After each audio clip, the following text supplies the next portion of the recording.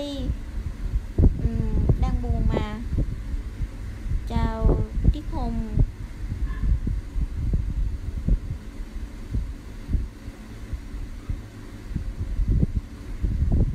Ừ, chị đang có chuyện buồn nha cô bi.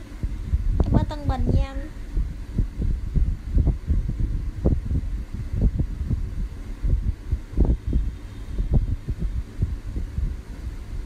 Ừ em nằm có một mình thôi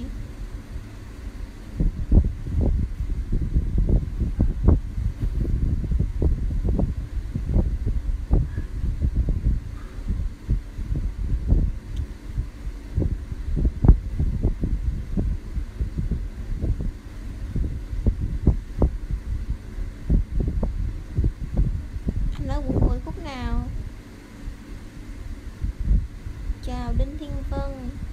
Chào Sơn Keo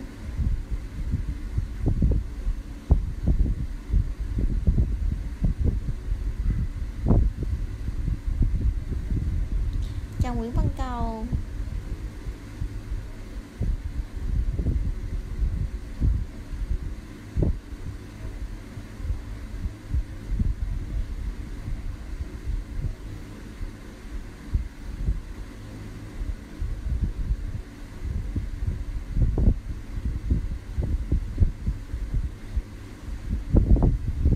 Mở gần chợ Phạm Văn Hai nha. Chợ Phạm Văn Hai. Chào Tùng Nguyễn.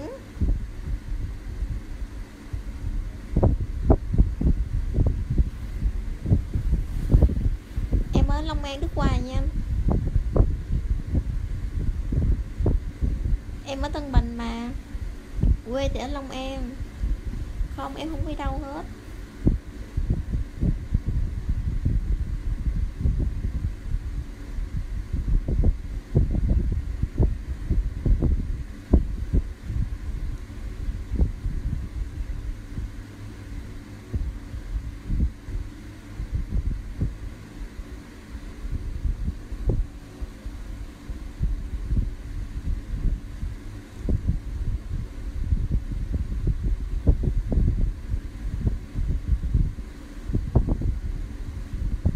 Ừ, em ở thành phố Hồ Chí Minh nha.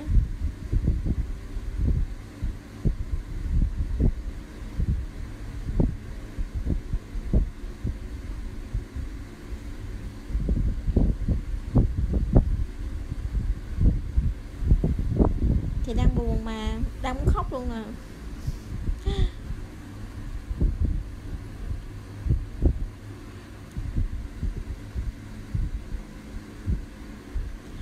Anh nhìn em, điểm nào mà anh thấy anh thích?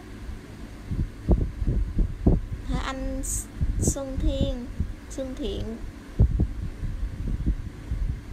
Anh thích em ở điểm nào?